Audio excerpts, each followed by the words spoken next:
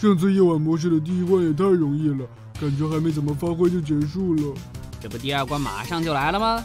这关依旧是我们熟悉的那几只僵尸。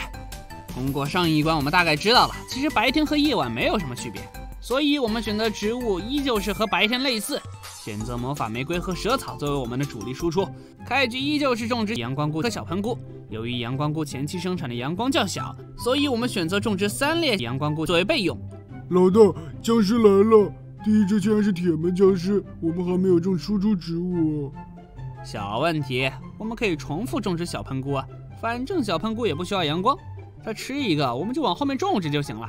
这个方法果然不错，虽然损失了两颗小喷菇，但是消灭了铁门僵尸，显得不痛不痒。而且我们还能趁这个时间种植阳光菇。又来了两只僵尸，再用刚才那个方法显然已经不行了，所以我们使用倭瓜去消灭血量较厚的铁门僵尸。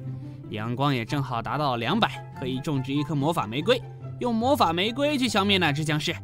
阳光菇的价格比较低，所以我们有了阳光之后，就可以直接种植魔法玫瑰，不需要节省阳光。虽然阳光菇前期生产阳光较小，但是我们种植数量多，正好弥补了它的缺陷。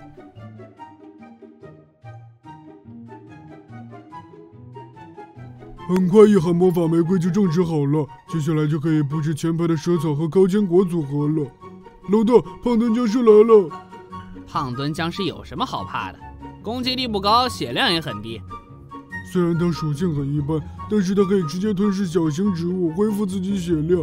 你看，倭瓜也被它直接吞噬了。我的天哪！一次性植物也能被它吞噬，竟然这么强吗？那得赶紧把前排的蘑菇铲除，不能再让它吃蘑菇恢复血量了。第一波僵尸来了，虽然我们阵容还没有搭建好，但是对付这一点僵尸绰绰有余。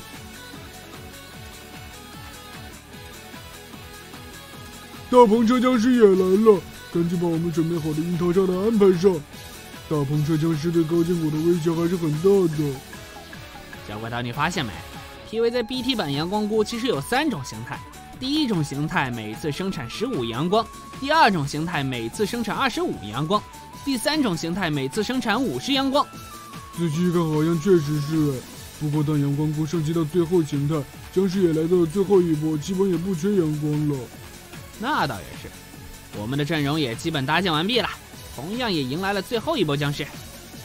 虽然只有一两只科技僵尸通过传送越过了高坚果，但是寡不敌众，没能给我们的植物阵容造成破坏。获得游戏胜利，玩了这么久，也是越来越得心应手了。我大嘴马上也是一个 BT 版的高手了，嘿嘿嘿！别忘记给老大点个关注哦。